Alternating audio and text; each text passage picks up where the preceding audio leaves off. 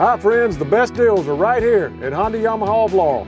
We have a huge selection of Honda Pioneer side-by-sides in stock with big discounts. Yeah, boy, like the Pioneer 1000 starting at $11,895. That's a $2,000 savings.